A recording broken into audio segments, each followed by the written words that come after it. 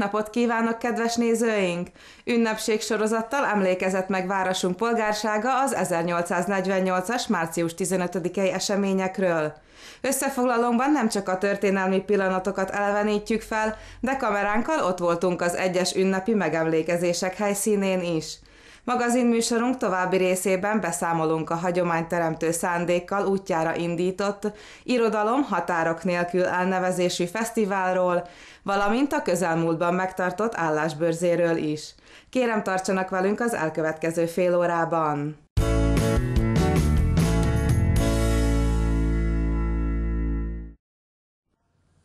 Komárom belvárosában szinte mindenki megáll egy pillanatra, amikor a huszár felzengi a városháza tornyából a klapka indulót. Nem túlzás, ha azt mondjuk, hogy az elmúlt évtizedek során Komárom himnuszává vált Egresi Béni szerzeménye.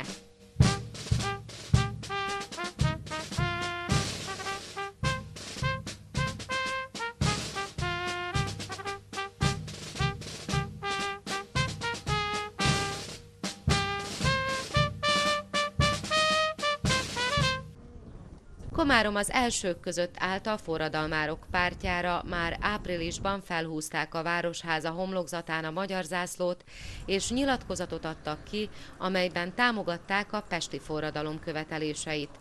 Délcegen erőt sugárzóan magasodik a főtéren még ma is Klapka György tábornok szobra.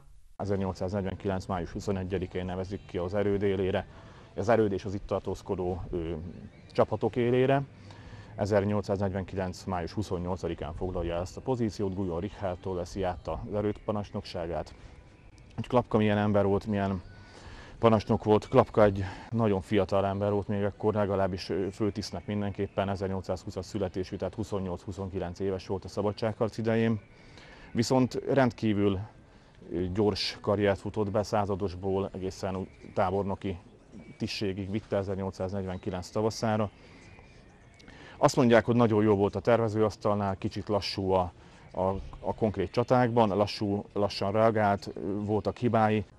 Ennek ellenére kiváló stratéga hírében állt Klapka György. Nem véletlen, hogy 1849 elején őt bízták meg a, a magyar hadsereg ellentámadásának kidolgozásával, tehát ő volt a, a tavaszi hadjárat egyik kitervelője, egyik kidolgozója.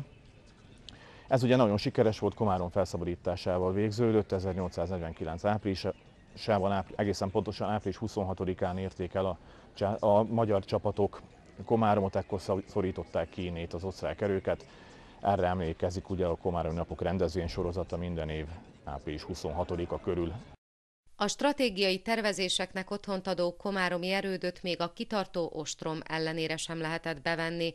Klapka György erről az erkéről szónokolhatott a katonáinak. A 19. század elején megépült a hatalmas laktanyi épület, utána megépült a parancsnoki épület, és felújították a öreg várat. Szóval ez a két épület nagyjából 4000 katonának szállást tudott nyújtani, plusz hogy még hogy hozzászámoljuk a, a parancsnokságot és a, és a mérnököket, lehet mondani, hogy akár 4500 katona is elfért volna itt, de tudjuk, hogy ennyi katona itt nem volt az erődben. Az a maximum létszám, amiről tudunk, az ilyen 1500 és 3000 katona között lehetett. A Klapka ugyan nagyon fiatal volt abban időben, amikor ide került Komáromba, ahhoz képest nagyon céltudatos volt, és mikor ide került Komáromba, akkor az volt első számára, hogy összes katonát, aki itt van, ugye a magyar oldalra átpártolni, hogy ők minden ugye, a magyar zászlóra tegyék le az esküt. A szabadságharc végkimenetele ugyanakkor kedvezőtlenül alakult. Klapka György nevéhez fűződik az is, hogy mind a polgárságnak, mind a katonaságnak menlevelet biztosított, így Komárom lakossága megtorlások nélkül vészelhette át a vereséget. Azt, hogy az 1848-49-es forradalom és szabadságharc egyik központi helyszíne Komárom volt, nem csak az április 26-án kezdődő Komáromi napok rendezvénysorozata idézi meg, hanem az a megemlékező ünnepség sorozat is, mely nélkül nem múlhat el március idusa városunkban. A komáromi óvodák és iskolák ünnepi műsorral örvendeztették meg a nézőközönséget nemzeti ünnepünk előestéjén az Egresi Béni Városi Művelődési Központban. Köszöntőt mondott Langsádol István, a baráti kör elnöke, és Bajkai János, a Komáromi Városi Hivatal oktatási főosztályvezetője, aki köszöntőjében kiemelte, közösségünk egyik legjelentősebb ünnepe március 15-e. Arra buzdította a jelenlévő gyerekeket, fiatalokat, hogy legyenek ők is forradalmárok, és hangsúlyozta a család, szülőföld és az anyanyelv fontosságát. A műsorban fellépett a Sej János Egyetem női kórusa, a Mariánum Egyházi Iskola Központ óvodásai és a Komáromi Alapiskolák tanulói. Piros szín, olyan, mint Ezüstel,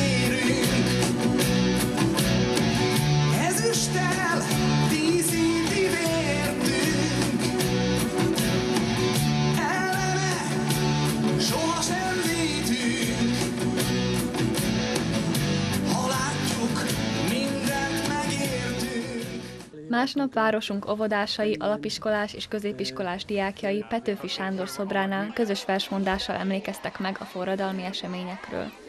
A felvidéki értékőrzők és az Egy jobb Komáromért által szervezett rendezvényen a jelenlévő fiatalok Stirber Lajos zenepedagógus vezényletével énekelték el a himnuszt és a klapkaindulót, valamint Olá Kálmán vezetésével elszavolták a nemzeti dalt is. A megemlékezés a forradalom nagy költőjének szobrának megkoszorúzásával zárult. A hagyományoknak megfelelően a Klapka szobornál megtartott megemlékezéssel zárult a március 15-i ünnepség sorozat városunkban. A résztvevőket Szabó Csilla pedagógus, városi képviselő köszöntötte, majd az Érszínház tagjai Váradi Kornélia és Panyi Zoltán adták elő az erre az alkalomra összeállított műsorukat. A megemlékezést a Concordia vegyeskar fellépése tette méltóság teljesebbé. Az ünnepség szónoka Csáki Csongor, a Rákóczi Szövetség elnöke volt, aki beszédében kiemelte. 1848. március 15-e olyan ünnepe a magyar nemzetnek, amelyet mindenki a sajátjának érezhet. Sajátjuknak érzik a magyarországiak, a Kárpát-medenceiek és a nagyvilágban élő magyarok egyaránt. De sajátjának érezheti minden olyan nép és nemzet is, aki 1848. március 15-én részese volt az akkori országnak majd hozzátette. 176 évvel ezelőtt akkori elődeink meg tudtak állapodni 12 olyan pontban, amit társadalmi, gazdasági, nemzetiségi helyzettől függetlenül mindenki a magáinak valhatott. Március 15-e ünnepi nagysága ebben az egységében jelölhető meg, akkor és azóta is. A főtéren megtartott ünnepség végén a város előjárósága, a kulturális egyesületek, a civil és polgári szervezetek, valamint az oktatási intézmények képviselői helyezték el a megemlékezés koszorúit Klapka György tábornok szobránál.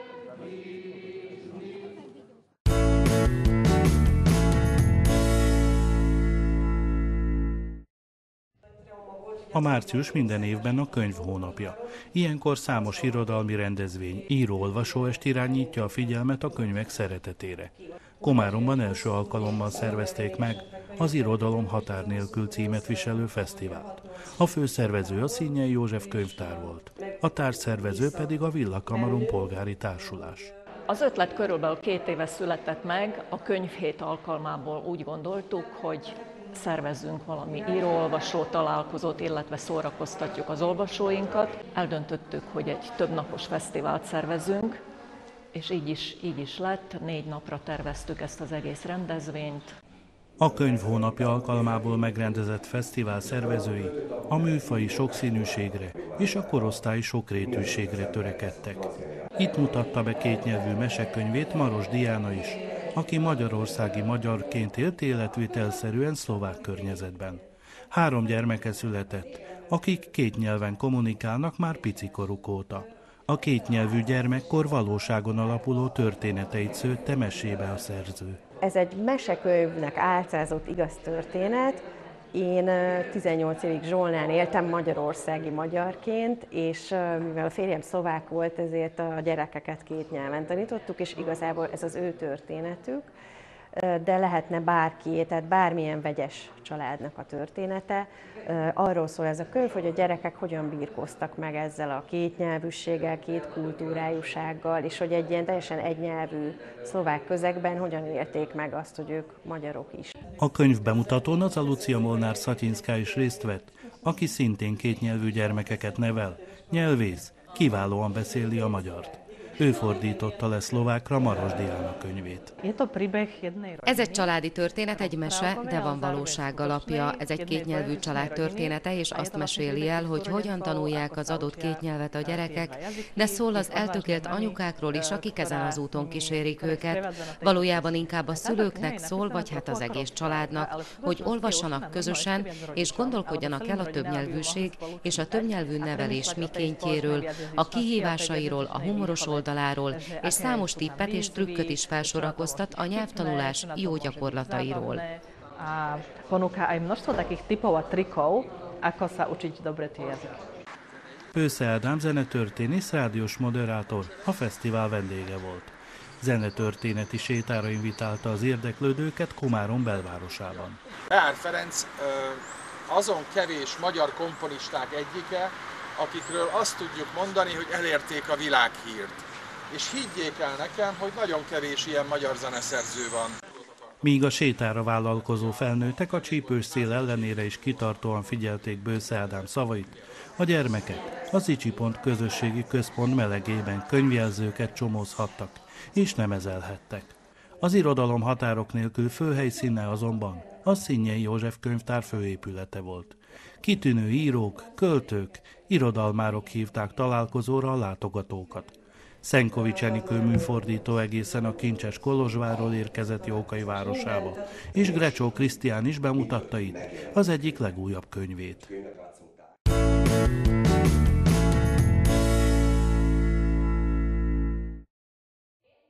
Od roku 2026 sa bude na základných školách na Slovensku vyučovať podľa nového vzdelávacieho systému. Reforma zruší koncepciu vzdelávania typu 1. až 4. a 5. až 8. ročník a bude viac orientovaná na prax a komunikáciu. Dôležitá bude tímová práca. V Komárne sa uskutočnil informačný deň pre školy s vyučovacím jazykom maďarským, ktoré by si chceli vyskúšať vyučovať podľa nového vzdelávacieho programu. Takto sa bude vyučovať od septembra podľa novej metodiky celkovo na 39 školách s vyučovacím jazykom maďarským. Zatiaľ pôjde o skúšobnú fázu. Dôraz sa presúva z odovzdávania vedomostí na učenie žiakov samostatne myslieť a zodpovedne konať, pretože to budú v živote potrebovať. V dnešnom rýchlom svete, keď si môžem na svojom telefóne ich hneď zistiť, kedy a kde sa narodil Andready, by sme sa nemali nevyhnutne zameriavať na to, aby okamžite aktuálne vedeli, kedy a kde sa narodil básnik Andready, ale aby vedeli, kým bol, prečo je jeho tvorba dôležitá. Bude menej požiadaviek, menej administratívnej záťaži pre učiteľov a viac slobody pre školy pri experimentovaní. Tento proces bude veľmi dlhý. Často ho prirovnávam k maratónu. Nebudeme bežať 100 metrov a potom sa radovať a mať na konci ohňostroj. Ale čaká nás veľmi dlhý beh.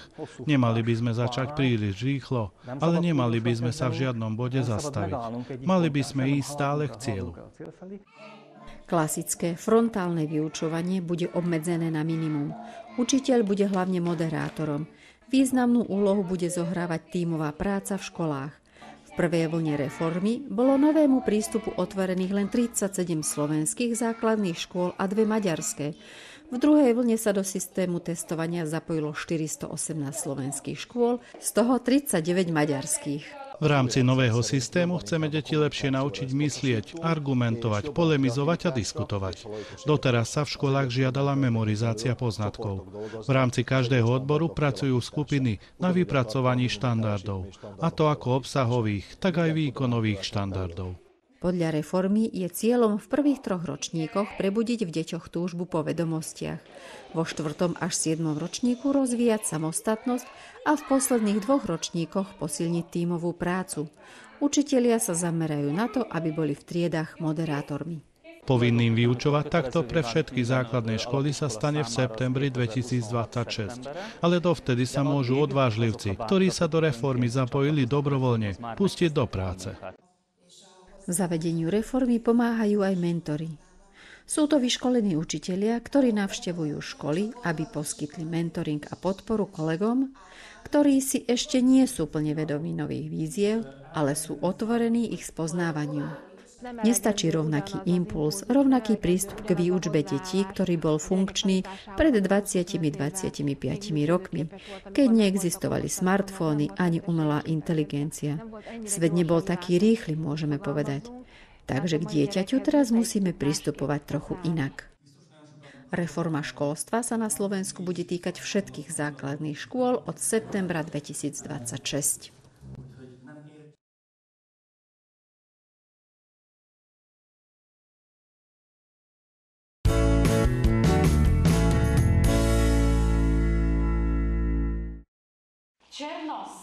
A Komenszki utcai alapiskola tanulóinak tevékenységéről már több alkalommal szóltunk.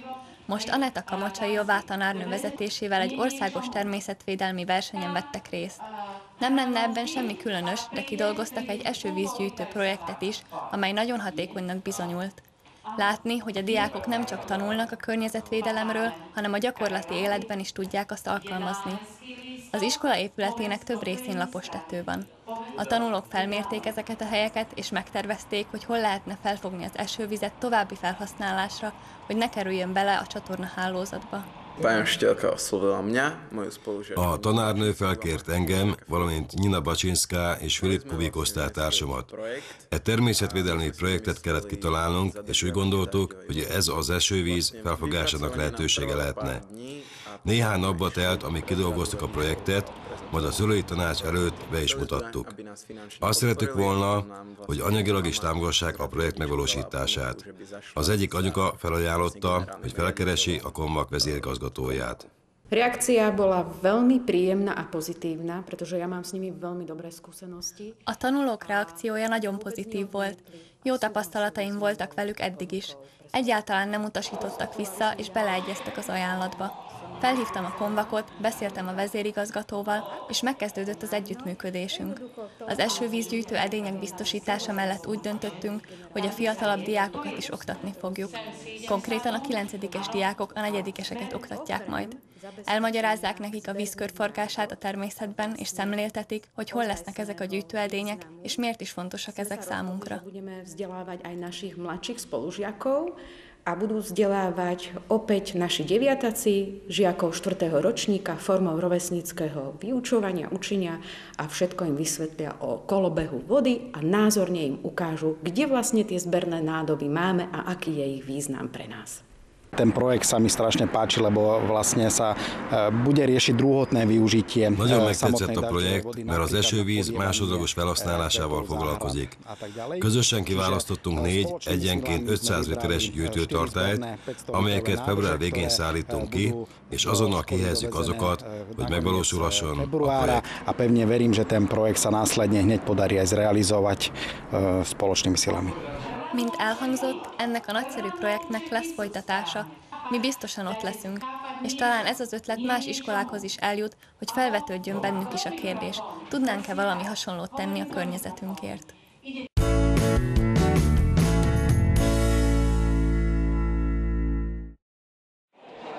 A tapasztalat azt mutatja, hogy aki munkát keres, az talál is, és még a határok sem állíthatják meg. Különösen igaz ez a mi régiónkra, ahol nem ritka, hogy az emberek Magyarországon vállalnak munkát.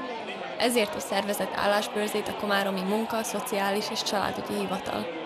Cieľom tohto podujatia je to, aby sme poskytli širšie spektrum voľných pracovných miest pre našich A rendezvény célja, hogy egyrészt az álláskeresők számára az állásajánlatok legszélesebb választékát kínáljuk, valamint a munkáltatók számára pedig a határokon átnyúló munkaerő mobilitás keretében minőségi és képzett munkaerőt biztosítsunk.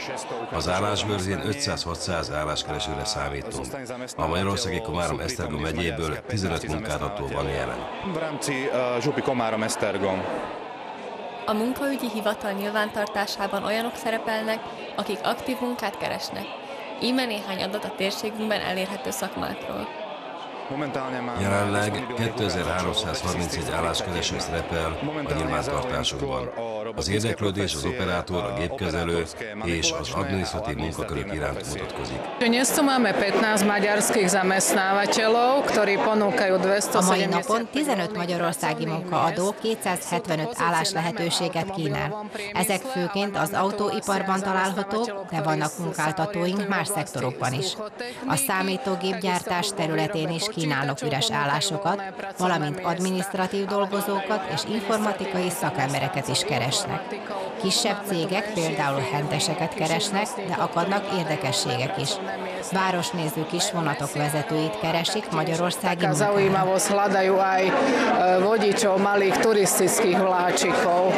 A magyarországi munkáltatók nem csak állást, hanem különböző juttatásokat is kínálnak. A legtöbb magyarországi munkáltató ingyenes buszközlekedést biztosít, azaz a dolgozóit busszal szállítja munkába. Ezen kívül különböző juttatásokat is nyújtanak, mint például étkezési hozzájárulás, kulturális utalványok vagy gyógyszerek, vitaminok vásárlására nyújtott támogatás. Tehát a juttatások széles skáláját kínálják a szlovákiai munkavállalóknak. A munkaügyi hivatal munkatársai arra is kíváncsiak, hogy az álláskeresők és a munkáltatók mennyire elégedettek az állásbőrzével. Na záver rozdávame vlastne dotazníky spokojnosti a zhruba... A munkabörze végén kérdőíveket osztunk ki, amelyekben azt kérdezzük, mennyiben voltak elégedettek. Négy hét múlva újra felvesszük a kapcsolatot a magyarországi munkaadókkal, hogy megtudjuk, hány embert vettek fel tőlünk. Általában 10%-os a siker, tehát az érdeklődők közül ennyien találnak munkát Magyarországon.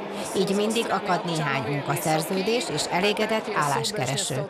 Úgy gondolom, hogy nagy az érdeklődés az állások iránt.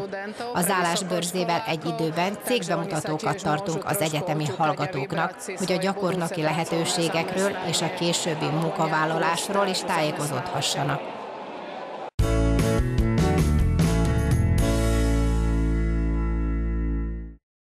A Dunamenti Múzeum Zicsi Palota beli kiállítóterme adott otthont az idei képzőművészeti spektrum szakmai kiértékeléssel egybekötött kiállítás megnyitójának. A régiónkbeli amatőr képzőművészek alkotásait bemutató rendezvényt a Komáromi Regionális Művelődési Központ szervezte. A képzőművészeti spektrum immár a 61. évében jár. Az idei évben utána néztem a statisztikáknak, volt az eddigi legtöbb résztvevő. Az egész komáromi járásból 50 amatőr művész jelentkezett, és összesen 117 alkotást küldtek be. A szakmai zsűri tagjai Csekei Szabó Tímea, Lukács Hajnalka és Nagy Csilla több szempontot is figyelembe véve, mint például az eredetiség, a kompozíció és a mű mondani valója, választották ki a díjazott alkotásokat. A zsűrinek az idén nagyon nehéz dolga volt. Először fordult elő, hogy nem is tudtunk minden jelentkezőtől legalább egy művet kiállítani, hiszen a színvonal évről évre magasabb, és technikailag is folyamatosan fejlődnek az alkotások. Egyáltalán nem irigylem a zsűrit, hiszen nagyon nehéz dolguk volt. A verseny komáromi fordulóján a zsűri végül fél száz alkotást díjazott. Komáromban nyitottuk meg a verseny regionális fordulóját. Ez egy több fordulós verseny, amely regionális, megyei és országos fordulókból áll. Mind az 50 díjazott alkotás tovább jutott a megyei fordulóra, amelyet június 21-én tartanak Nagy Tapolcsányban. Sok sikert kívánunk a továbbjutóknak! Az érdeklődők a képzőművészeti spektrum legjobb alkotásait március 22-ig tekinthetik meg a Dunamenti Múzeum Zicsi Palota beli kiállítótermében.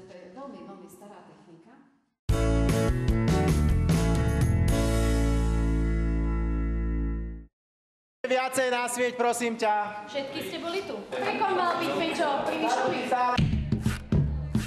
Még pár rendezői intelem és kattoghatnak is a fényképezőgépek. A hagyományos fotózás a szlovenszki rebeli folklór színjátszó csoport házatáján azt sejteti, hogy a nézők hamarosan egy újabb bemutatónak örülhetnek. A Boszorka Boszorkány és a Milenka szerető után a Presspanka Leányanya című előadásunkkal lezárunk egy trilógiát. Most épp azt gyakoroljuk. Igazából ez utóbbit a leginkább nehéz számomra feldolgozni. Ez a forgatókönyv negyedik változata, amit itt most majd láthatnak. De ez sem az utolsó, lesz egy ötödik is. Épp ebben a nőben, ebben a leányanyában szerettem volna szemléltetni mindazt a női erőt, amire a trilógia minden előadása épít. A legnagyobb gond az, hogy mindazt, ami a középkorban a leányanyákat érte, a társadalmi kirekesztés, az egyházi üldöztetés és a különféle szankciók annyira aljasak voltak, hogy valóban nehéz ma egy ilyen anyaggal dolgozni. A célunk ugyanis nem az a rebellivel, hogy egy kifejezetten lehangoló előadást vigyünk színre. Szeretnénk rámutatni valamire, valami igazán vidámra és kedvesre ezekben az élettörténetekben. Ám a Preszpánka esetében ez a küldetésünk igazán nehéznek bizonyult. Ezért ki kell mondanom, hogy ez az első előadásunk, ami nem kifejezetten alkalmas arra, hogy gyermekek is megtekintsék. A Boszorká, a Milánka, a Preszpánka alapötlete 2021-ben fogant, akkor a szlovenszki rebeli forgatókönyvírója és rendezője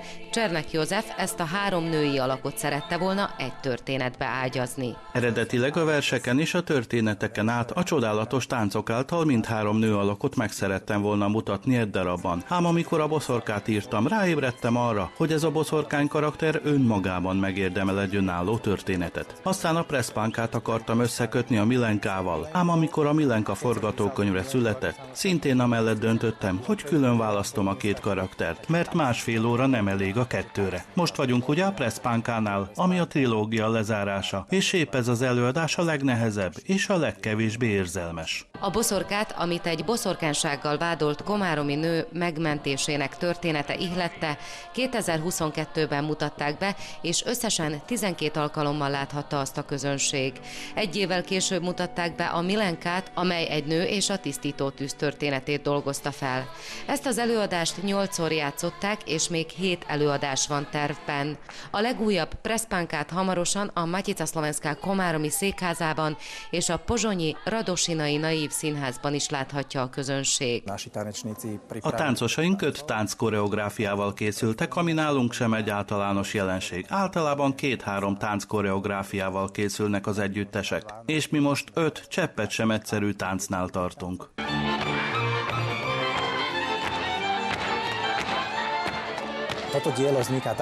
Ez a mű épp úgy készül, ahogy a folklór előadásnak készülnie kell. Nyilván vannak benne táncos elemek és dalok egyaránt. Igyekszünk néprajzi szempontból teljesen hitelesek lenni. A teljes pontosságra törekszünk, ugyanakkor néhány táncba bele kell nyúlnunk. Például a presszpánka esetében a nyitó tánc hozza létre a presszpánka, azaz a leányanya karakterét. Így ez egy színpadi, dramatikus, folklorisztikus tánc lett. Ez alatt azt értem, hogy a rebeli ezzel nyújt egy kis egyediséget Szlovákiában, hogy a folklór elemeit felhasználjuk ugyan, de a táncok nem mindig autentikusak, úgy jelennek meg, ahogy azt a hagyományőrzők képviselik. A táncok olykor a cselekményt egészítik ki. Annak az előadásnak, mely a szerző szerint csodálatos ugyan, de nehéz, a bemutatója április 13-án szombaton lesz, másnap pedig ismétlés várható. Nem csak ez az egy premier várható a Komáromi Matica házban. Március 23-án a Komáromi Komorra Szlovák Színház adja elő a Kabaré című új musicalét. Az előadás este 7 órakor kezdődik.